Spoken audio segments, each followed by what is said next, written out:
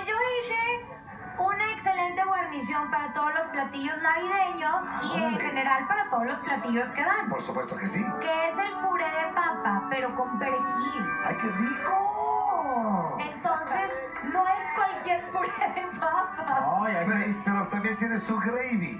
También hice el gravy. Eso. Pero el gravy sí les tengo de sobrecito. No, bueno, de- No me alcanzó el tiempo para lo, hacerlo. lo que pasa es que generalmente ya se hace de sobrecito, no te preocupes, ¿eh? Bueno, pero sabe bueno. Pero, ¿sabes qué la diferencia cuando uno se hace de sobrecito? Permíteme tantito, ¿sí? Cuando se hace uno de sobrecito, ¿sí? Que el sazón y el toque magistral se lo pone uno. Sí. ¿A qué?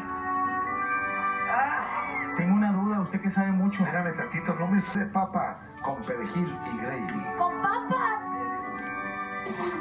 Hola pues bueno, yo decidí hacer para esta cena navideña un puré de papa, pero es un puré de papa muy especial porque no lleva los ingredientes comunes que llevan los otros purés de papa, porque este lleva mucho amor.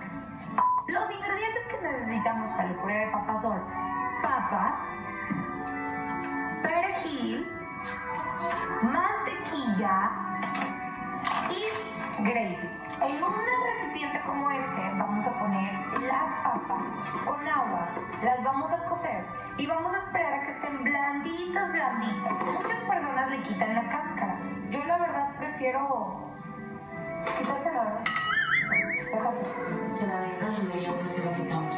Partimos el perejil así, súper en trocitos, así súper picadito, picadito, picadito. Le ponemos tocino, mantequilla y ya está listo el puré de papa.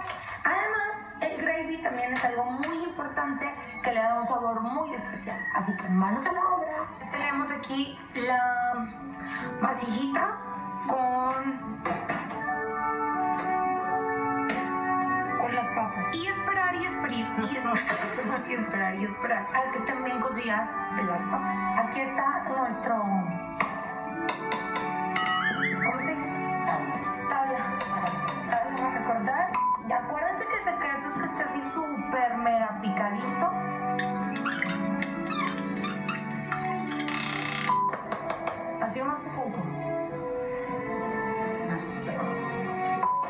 Como. Bien.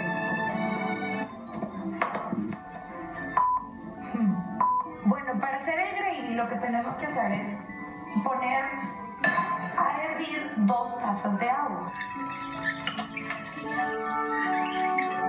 La verdad yo por el tiempo lo tuve que hacer de paquete, pero lo mejor y lo ideal es hacerlo desde cero, ¿ok? Ah,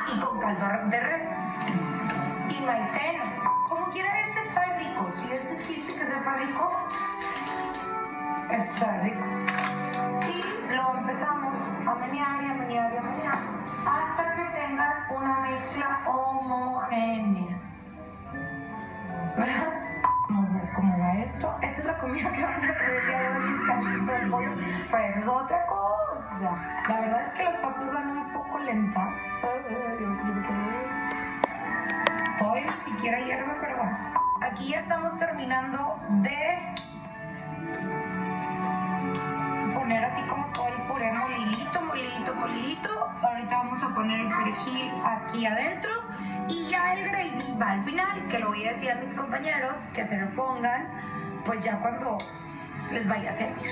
A ver qué tal quedó. Es con mucho cariño, con mucho amor. A ver si les gusta.